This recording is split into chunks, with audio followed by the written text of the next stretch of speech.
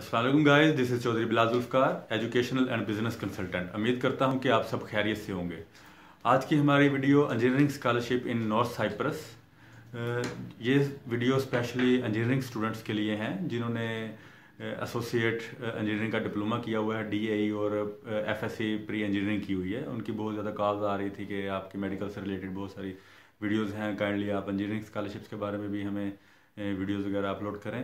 तो ये north Cyprus में इस वीडियो ये फ़र्स्ट ऑफ़ ऑल तो जो हमारे चैनल पे न्यू कमर्स हैं प्लीज़ हमारा चैनल सब्सक्राइब कर दें ताकि जो नेक्स्ट अपकमिंग जो स्कॉलरशिप्स हैं, उनके बारे में आपको अपडेट मिलती रहेगी।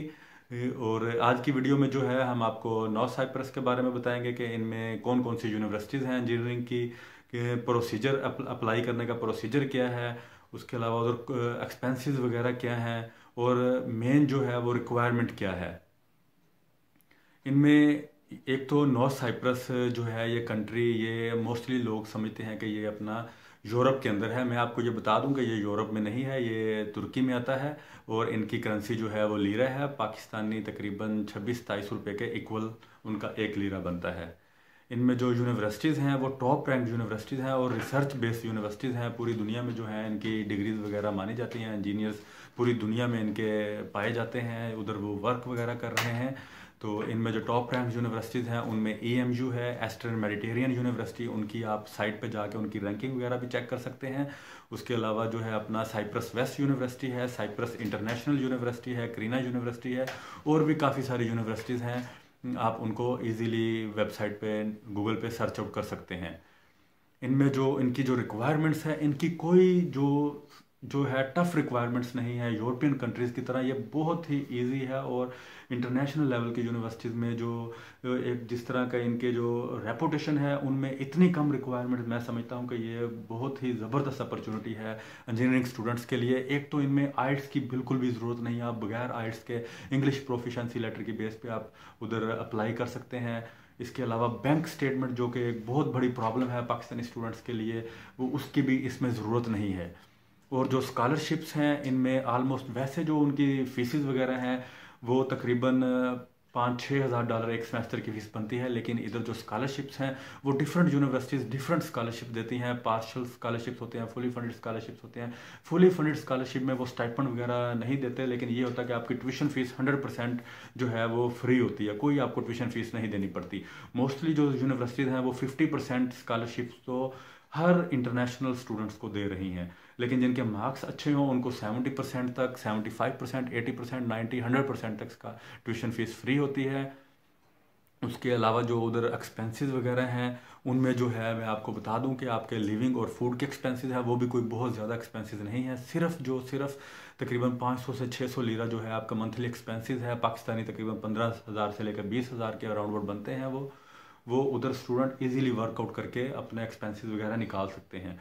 उधर स्टूडेंट्स को वर्क अलाउ होता है। इनिशियली जो स्टूडेंट्स वगैरह जाते हैं, उनका जो प्रोसीजर्स वगैरह होता है, मैं आपको बता दूँ कि ऑनलाइन वो अप्लाई करते हैं। हमारे पैनल पे भी काफ़ी सारी उनकी यूनिवर्सिटी जो हैं, चौधरी कंसल्टेंसी के साथ डायरेक्ट अटैच हैं। हमारे पैनल पे वो मौजूद हैं। हमारे स्टूडेंट्स को जो है अपना एडमिशन वगैरह के लिए अगर कोई आप में से अगर हमारे थ्रू एडमिशन लेना चाहे, हमारे पास काफ़ी सारी इंजीनियरिंग की यूनिवर्सिटीज़ हैं जो हमारे पैनल पर हैं और उनके लिए स्कॉलरशिप्स भी है। हमारे पास फिफ्टी परसेंट से लेकर हंड्रेड परसेंट तक स्कॉलरशिप जो है स्टूडेंट्स के लिए ईजीली अवेलेबल है सिक्सटी परसेंट मार्क्स के साथ। उधर जो एक्सपेंसेस वगैरह जो आपके, ये मैंने आपको बता दिया, यही एक्सपेंसेस हैं, या वीज़े की फ़ीस वगैरह दस बारह हज़ार पाकिस्तानी है, या उधर जाके जो है आपका वीज़ा जो लगता है, उसमें तकरीबन बीस हज़ार लगते हैं मेडिकल के और वीज़े की फ़ीस मिला के। ये आपके टोटल एक्सपेंसेस हैं, इसके अलावा कोई आपके एक्सपेंसेस नहीं है। अब उधर जो आपके लिविंग जो एक्सपेंसेस वगैरह हैं, उनकी अगर बात की जाए, वो तकरीबन पाँच सौ से सात सौ जो है अपना लीरा लगते हैं, उनमें आपका रिहाइश और फ़ूड वगैरह सब चीज़ इंक्लूड होती है। अब ये जो एक्सपेंसेस तो मैंने आपको बता दिए एक्सपेंसेस कवर अप किस तरह करने हैं? ये जो हल्के फुल्के एक्सपेंसेस हैं आपके स्कॉलरशिप के बाद जो आपके बचते हैं ये उधर जो यूनिवर्सिटीज़ हम्म, जो है वो आप काम तो कर सकते हैं। आपको काम अलाउ है जो ट्वेंटी आवर जिस तरह पूरे यूरोपियन कंट्रीज़ में है इसी तरह आप ट्वेंटी आवर कर सकते हैं जो आपको वीकेंड वगैरह आता है फुल टाइम आप कर सकते हैं। उधर काम वगैरह कौन कौन से हैं? काम उधर लेबर वर्क ही है बहुत ज़्यादा। ये नहीं है कि आप उधर जाके डीसी वगैरह लग जाएँगे या आपको ऑफ़िस वगैरह इस तरह की वाइट कलर जॉब्स नहीं, उधर ब्लू कलर जॉब्स होंगी। आप किसी रेस्टोरेंट पे काम कर सकते हैं या अगर उधर तकरीबन बीस हज़ार का लाइसेंस बन जाता है मोटर बाइक का। आप बाइक का लाइसेंस वगैरह ले लें और आप डिलीवरी वगैरह का उधर बहुत ज़्यादा काम है। ठीक है, बहुत ज़्यादा उधर रेस्टोरेंट्स वगैरह हैं, आप डिलीवरी वगैरह काम कर सक, कर सकते हैं। उसमें तकरीबन अगर आप डिलीवरी करते हैं, आप लाख से डेढ़ लाख कम अज़ कम भी जो है आप उधर कमा सकते हैं इजीली अगर दूसरे वगैरह काम वगैरह करते हैं तो उसमें आप हैंड टू माउथ अपनी अर्निंग आप उधर अपने एक्सपेंसेस वगैरह निकाल सकते हैं।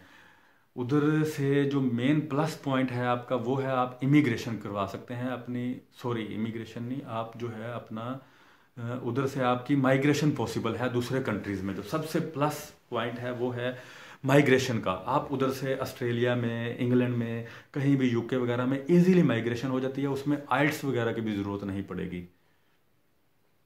ये सारी चीज़ें थी जो उधर के आप इजीली माइग्रेशन वगैरह कर सकते हैं, हर चीज़ हो सकता है, इसके ऊपर कोई भी डिफ़िकल्ट नहीं है, आपको आइट्स वगैरह की भी ज़रूरत वगैरह नहीं पड़ेगी। इसके अलावा जल्द ही मार्च, अप्रैल में जो है इंजीनियरिंग की स्कॉलरशिप्स इटली के लिए भी ओपन हो जाएँगे, इंशाल्लाह जैसे ही वो अनाउंस होंगी, उससे रिलेटेड भी हमारी वीडियो जो है चैनल पे आ जाएगी। इसके अलावा कोई भी आपका क्वेश्चंस हो, किसी भी तरह का जो है आपको कोई डिफ़िकल्टीज़ वगैरह आ रही हो अप्लाई करने में या जो है कोई मैं आपको बताना भूल गया हूँ तो आप काइंडली कमेंट्स में बता दीजिएगा, मैं आपको उधर रिप्लाई वगैरह कर दूँगा। ठीक है, बहुत शुक्रिया आपका अपना ख्याल रखिएगा। अल्लाह हाफिज़ टेक केयर